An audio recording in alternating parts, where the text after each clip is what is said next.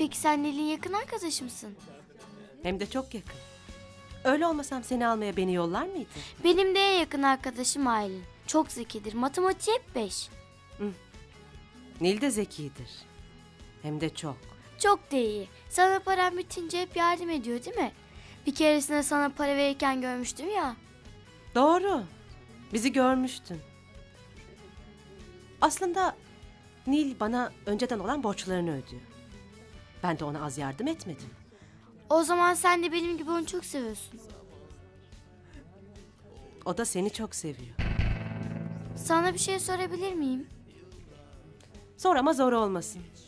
Nil niye seninle gelmedi? Siz Lara'nın nesi oluyorsunuz?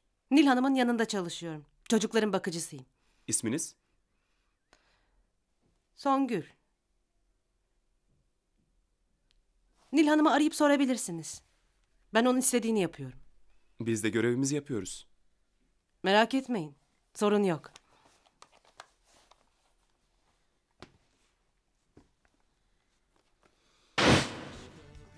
Benim almamı istedi.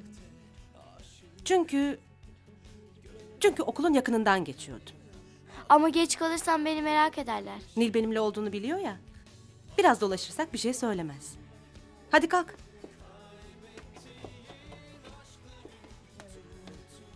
Dün geceki talihsiz olaydan sonra polis ekibi araştırma Bana yapmak üzere... masal anlatmayın. Okulunuzda ne yaşandığı umurumda değil. Nil sakin ol. Belki de Lara'nın kaybolmasıyla ilgisi vardır. Evet, Lara şu an bir katille birlikte olabilir ve ben sakin olayım öyle mi? Bizi aramadan nasıl bırakırsınız? Bakın, çocukların hepsi ya servislere bindirildi ya da ailelerine teslim edildi. Sizinle telefonda görüşünce Ben size önünüze gelene çocuk verin demedim. ama aldırtabileceğinizi söylemiştiniz. Ben de sandım ki o kadın Dua edin.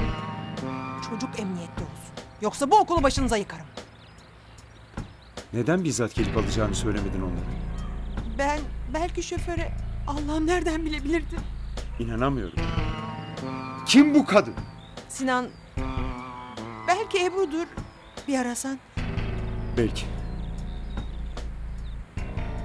Evet. Annesinde olabilir. Rehberlik hocası onu özlemiş olabileceğinden bahsediyordu. Ebru benim. Lara sende mi? Bilmem ge... Anlıyorum. Rahatsız ettiysem özür dilerim. Konuşturmadım. Sorumsuz kadın. Efendim Feyza. Hayır bir gelişme yok. İpek değil Feyza. Kaybolan Lara. Üzgünüm. Allah'ım ben nasıl böyle bir hata Kızıma bir şey olursa... Olmayacak Sinan. Ona hiçbir şey olmayacak.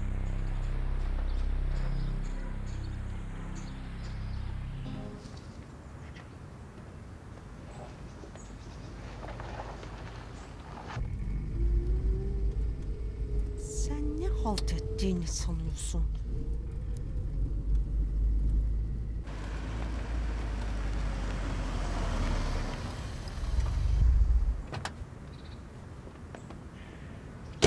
Lara. Çok şükür. Annen, pardon, üvey annen ne kadar sevgi dolu değil mi Lara? Biliyor musun Melek'le bugün yürüyüş yaptık. Seni çok merak ettik. Bir daha bize haber vermeden hiç kimseyle hiçbir yere gitmek yok anlaşıldı mı? Ama Melek'i sen göndermişsin. Şimdi hemen eve git ve babanı arayıp eve geldiğini ve iyi olduğunu söyle tamam mı? Benden de selam söyle. Lara. Babam benim kadar anlayışlı olamayabilir. Bu seferlik ona seni iffetin aldığını, parka gittiğinizi söyleyelim ki sana kızmasın. Tamam mı canım? Tamam teşekkür ederim. Senin gibi ideal bir anneye çocuğuna yalan söyletmek yakışır mı hiç? Sen ne yaptığını sanıyorsun ha?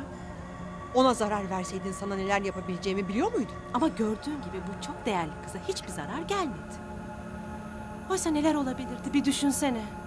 O küçücük beyninle beni tehdit ediyorsun ha? Zavallı şey. Kaçak bir katil için fazla cesursun. Tıpkı senin gibi. Bombayı elime veren sendin. Ben sadece pimini çektim. Öyle miydi? Nasıl ispatlayabilirsin? Sana kim inanır? Elimdeki delillerle çok daha büyük bir bomba patlatamayacağımı nereden biliyorsun? Görmediğim hiçbir şeye inanmam ben. Allah'a Bence kendin için dua etmeye başlasan iyi olur.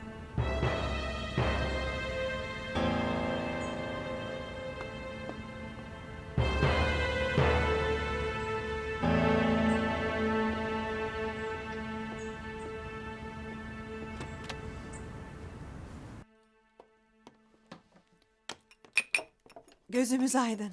Hoş geldiniz efendim. Lara geldi gördünüz değil mi? Evet, çok şükür Nil Hanım. Sinan Lara'nın kaybolduğunu duyunca çılgına döndü İffet. Sizin de telefonda sesiniz üzgün ve telaşlı geliyordu. Hepimize büyük geçmiş olsun. Senden bir iyilik isteyeceğim ama Nedir? bunu daha sonra unutacaksın. Sabah sen Lara'yı almaya gidecektin ya. Ee, siz gitmeseydiniz gidecektim tabii, evet. Sen Lara'yı almaya gittin İffet. Affedersiniz? Sinan kızının arkadaşlarıyla bize haber vermeden parka gittiğini öğrenirse ne olur dersin? Lara'ya kızar tabii. Ama sen okuldan ben aldım dersen